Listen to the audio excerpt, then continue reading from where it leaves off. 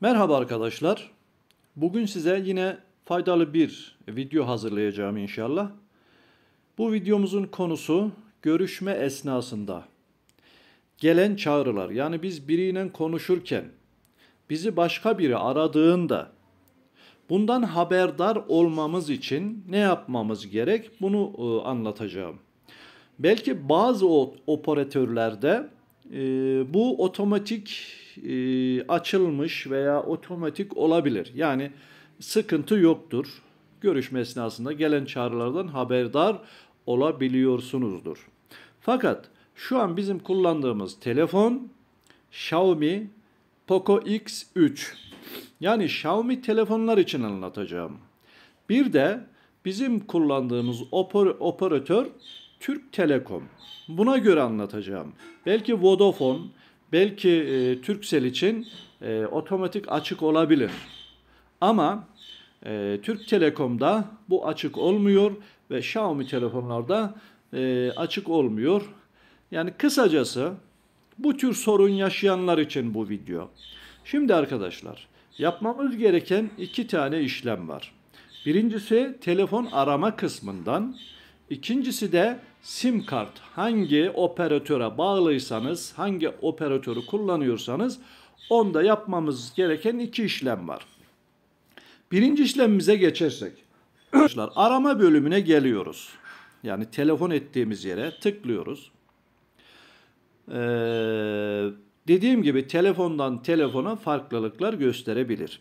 Şimdi edit bölümü. Yani buradan ayarlar bölümüne girmemiz lazım arkadaşlar. Ben de edit yazıyor, siz de ayarlar yazabilir. Edit bölümüne tıkladım arkadaşlar.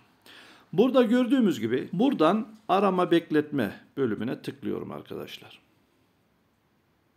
Gördüğünüz gibi burada ben önceden aktif etmişim. Bura pasif olur genelde. Siz burayı pasifse aktif edeceksiniz arkadaşlar ve aç diyeceksiniz.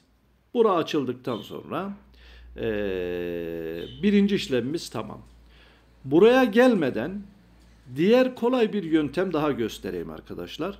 Yani bu ayarlara girip buralara gelmeden de burayı açabiliriz. Şimdi ben burayı pasif yapayım arkadaşlar. Ve geri çıkıp arama bölümünden yıldız 43 yıldız 43 kare kareye bastım ve arama tuşuna basıyorum arkadaşlar. Gördüğünüz gibi otomot, e, operatör e, bilgisi bize veriyor. Çağrı bekletme hizmet etkindi diyor. Yani etkin edildi diyor. Şimdi tekrardan tamam deyip edit bölümüne gelelim. Bakalım etkin olmuş mu arkadaşlar. Arama bekletmeye tıkladığımda gördüğünüz gibi yıldız 43 kare ile de burayı etkinleştirebiliyoruz. Şimdi arkadaşlar burada işimiz bitti. İkinci işleme geçeceğiz. Kullandığımız operatöre göre değişiklik gösterebilir. Biz Türk Telekom kullanıyoruz. Türk Telekom'un uygulaması var. Vodafone'un da uygulaması var, Turkcell'in de uygulaması var. Yani kısacası uygulamaya girmemiz veya web sitesine girmemiz, web sitesinden bu ayarı yapmamız lazım. En kolayı uygulamayı Google Play'dan indirmek. Şimdi ben önceden indirdiğim Türk Telekom onliğine işlemlere giriyorum arkadaşlar. Gördüğünüz gibi burada. Tıkladım ve onliğine işlemlere girdim. Onliğine işlemlere girdikten sonra arkadaşlar diğer operatörlerin uygulamaları da aynı mantıkla çalışır. Ayarları bulmamız lazım arkadaşlar. Ben buradan yukarıda daha fazla bölümüne tıklıyorum ve aşağıdaki ayarlar bölümüne tıklıyorum. Ayarlar bölümü açıldıktan sonra arkadaşlar aşağılarda çağrı bekletme.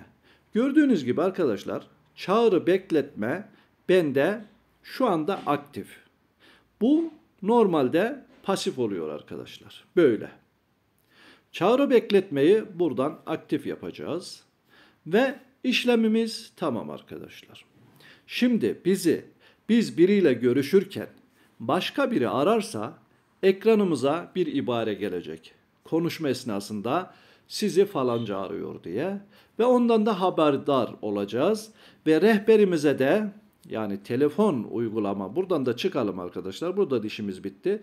Şuradan telefon uygulamamızda sizi şu kişi aradı diye e, bildirim gelecek arkadaşlar. Bu tür işlemleri bilmeyip bizden yardım isteyen arkadaşlarımızın ricası üzere e, biz e, bu videoyu yaptık. E, eğer video hoşunuza gitti ve size faydalı olduysa siz de bize küçük bir destek olarak kanalımıza abone olup efendim bu videoyu paylaşabilir, e, like atabilir ve bize de böylece bir destek olmuş olursunuz. Herkese teşekkür ediyorum. Hayırlı günler, iyi günler. Görüşmek üzere.